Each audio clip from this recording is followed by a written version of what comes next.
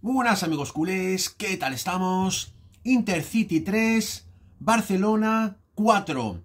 Vaya locura de partido, pero antes que nada, felicitar al Intercity por el partidazo que han hecho hoy.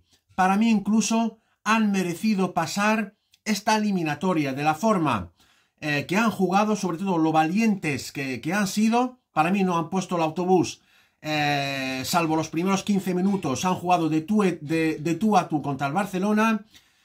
Y si, por ejemplo, hubieran pasado, pues chapó y lo hubieran merecido perfectamente. Referente al partido del Barça, pues para mí Xavi se equivoca. Un planteamiento suicida, otra vez más con la defensa adelantada, y el único defensa que tiene sus condiciones, que puede correr atrás, es Araujo. Los demás son todos lentos.